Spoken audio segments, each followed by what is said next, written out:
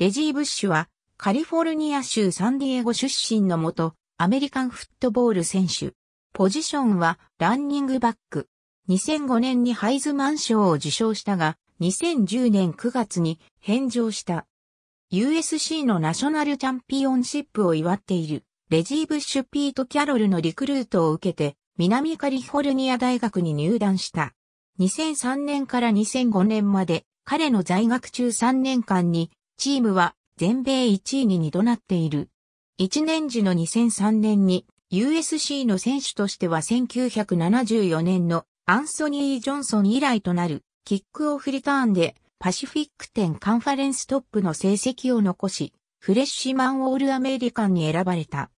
彼の獲得したオールパーパスヤードは1331ヤードとなり、これは大学の新人記録となった。90回のランで521ヤードを獲得し3タッチダウンを挙げた。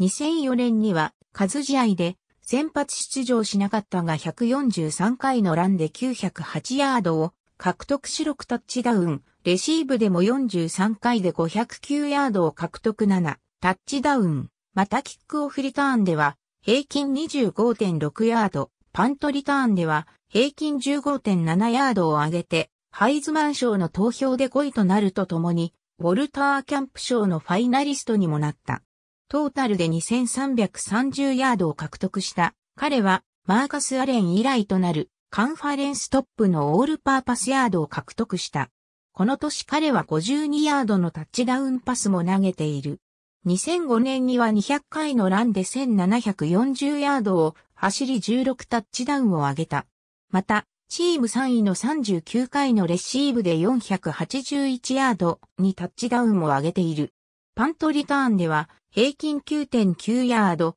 キックオフリターンでは平均17.6ヤードを走った。全米トップの1試合平均で合計222.3ヤードを獲得し、ハイズマン賞、ドークウォーカー賞、AP 通信によるカレッジフットボール最優秀選手などに選ばれた25タッチダウン、レシーブ95回で1301ヤード13タッチダウン、キックオフリターンで1522ヤード1タッチダウン、パントリターンで559ヤード3タッチダウンの成績を残した。2005年に合計2611ヤード18タッチダウンを上げた彼は12月10日に行われたハイズマン賞の投票で1位、票784を獲得、合計2541ポイントで2位のビンス・ヤングなどを破り受賞した。3位には1位、票18を獲得したマット・ライナートがなった。この時点で彼はハイズマン賞選考で OJ シンプソンに次ぐ歴代2位となる1位票、ポイントを獲得した。USC 出身選手としては史上7人目の受賞であった。彼はドーク・ウォーカー賞、ウォルター・キャンプ賞も受賞しカンファレンスの最優秀攻撃選手にも選ばれた。彼とチームメイトのマット・ライナーとは、ローズボール史上初のハイズマン賞受賞者コンビとなった。テキサス大学とのこの試合で彼はランで82ヤード、レシーブで95ヤード、キックオフリターンで102ヤードを獲得し1、タッチダウンを上げたが、試合は敗れ相手 QB のビンス・ヤングや123ヤードを走り、3タッチダウンを上げたチームメイトのレンデル・ホワイトに比べて目立たなかった。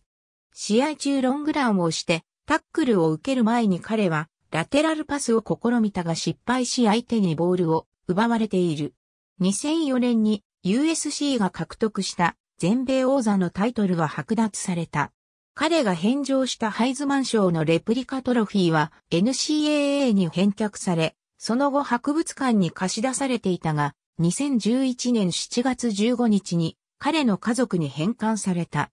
2006年1月12日、彼は4年に進学せず NFL ドラフトにアーリーエントリーすることを発表した。識者は彼が2006年のドラフヒューストン・テキサンズがブッシュを指名しなかったことに対して ESPN のコメンテーター、レン・パスカレリは厳しく批判した。ドラフトの3日前の4月26日に彼はスポーツメーカーのアディダスと複数年契約を結んだ。ブッシュがセインツに指名されたことはセインツファンを大いに感激させて背番号が決まる前にもかかわらず、リーボックによると、レプリカジャージの注文が1万5千以上舞い込んだ。彼は、高校、大学時代と同じ5番をつけたがったが、NFL の規定により、ランニングバックは20番から49番を着用することとなっているため彼の希望は通らなかった。ミニキャンプ中は5番をつけてプレイすることを許可された。5月23日に彼の要望は公式に却下され5月25日に彼の背番号はフレッド・マカフィーがつけていた25番となることが発表された。彼はレプリカジャージの売り上げの4分の1をハリケーンカトリーナの被災者の支援に充てた。また、背番号を譲ってもらったマカフィーが行っている彼の故郷であるミシシッピ州向けのチャリティーにその半分を回した。彼はペプシコーラ、ゼネラルモーターズ、アディダス、サブウェイなどと CM 契約し、契約金額が合計およそ500万ドルとなり、ペイトン・マニングに次いで NFL 選手としての CM 契約額2位となった。トレーニングキャンプ中に彼は、チームメイトの情報音にベイビーマトリックスと呼ばれるようになった。1年目のシーズンは浮き沈みのあるものとなった。開幕戦のクリーブランド・ブラウンズ戦で先発したチームメイトのデュース・マカリスターよりもボールを渡される回数は少なかったが、ラン、レシーブ、リターンで141ヤードを獲得しチームは19から14で勝利した。シーズン折り返し時点で彼は NFL の RB 最低の1回あたり2.55ヤードの獲得でタッチダウン0だったが RB としては最多の46回のパスレシーブをしていた。11月12日のピッツバーグスティーラーズ戦でプロ初タッチダウンを挙げた。12月3日のサンフランシスコ 49ers 戦では、チームタイ記録となる4タッチダウンを挙げ、合計で168ヤードを獲得、チームの8勝目に貢献した。12月10日に行われたプレーオフ争いをしているダラスカウボーイズ戦では62ヤードのタッチダウンを上げてチームは42から17で勝利した。12月26日のニューヨークジャイアンツ戦では自己ベストの126ヤードを走りタッチダウンを上げた。プレーオフ第2シードが決まった12月31日のカロライナパンサーズ戦では3回のランのみで彼は温存された。翌2007年1月5日に投票が行われた AP 通信による最優秀新人選手賞の投票で彼は5位となった。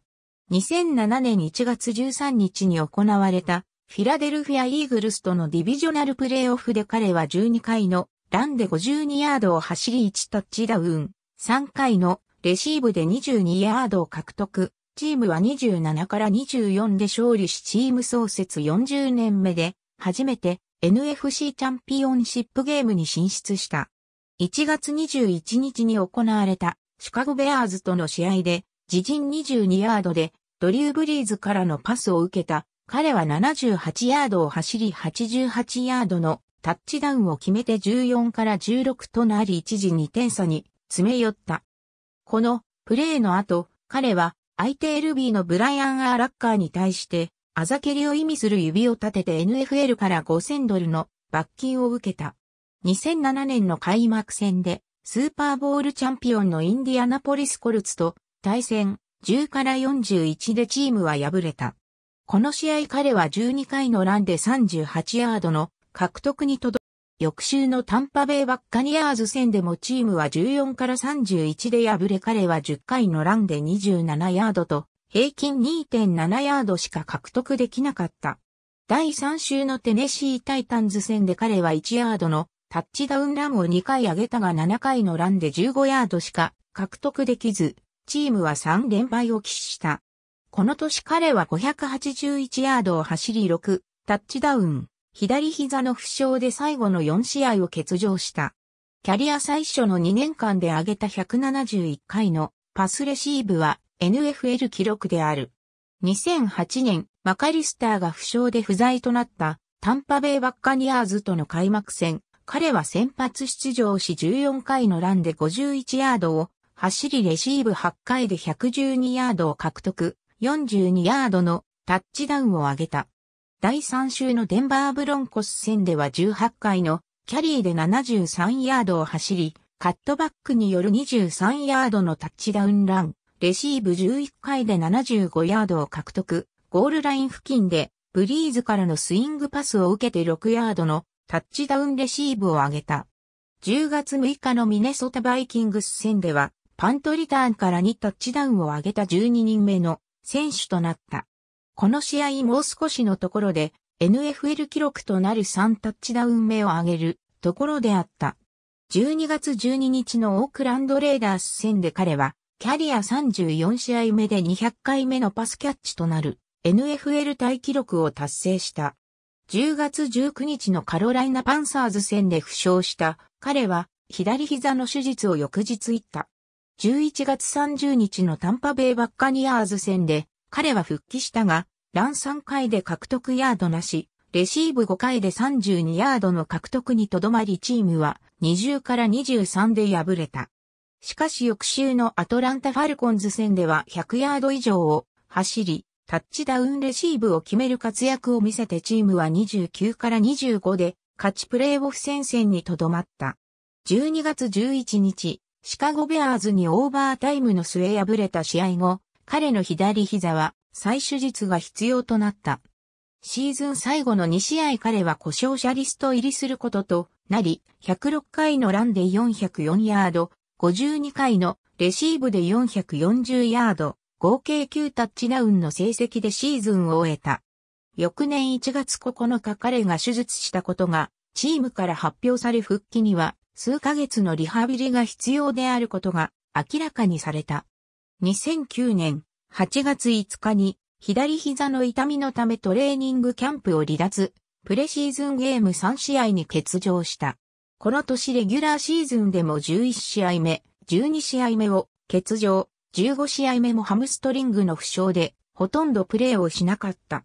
成績は、ほとんどのカテゴリーでプロ入り以来最低となり14試合の出場で390ヤードを走り 5TD、47回のキャッチで335ヤードを獲得、3TD の成績を残した。2010年1月16日のアリゾナカージナルスとのディビジョナルプレイオフではわずか5回のキャリーであったが46ヤードの T デイランを含む84ヤードを走り、第3球終わりには83ヤードのパントリターン TD も上げチームは45から14で勝利した。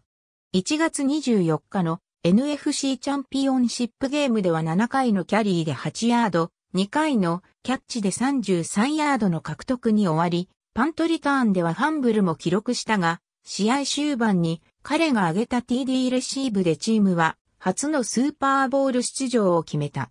インディアナポリスコルツとの第44回スーパーボールは31から17でセインツが勝利し、スーパーボール初優勝を果たした。2010年、第2週のサンフランシスコ 49ers 戦でパントリターナーを務めた際、ファンブルし、ボールを自らリカバーしたものの負傷し数週間、欠場することとなった。